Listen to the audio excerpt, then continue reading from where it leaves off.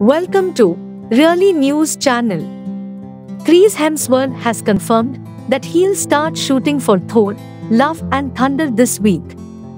The actor, who's vacationing on Lord Howe Island with his family, took to Instagram on Wednesday to share the update and wrote, Great to get away for a few days before starting on Thor Love and Thunder this week. The fourth installment will be directed by Taika Waititi.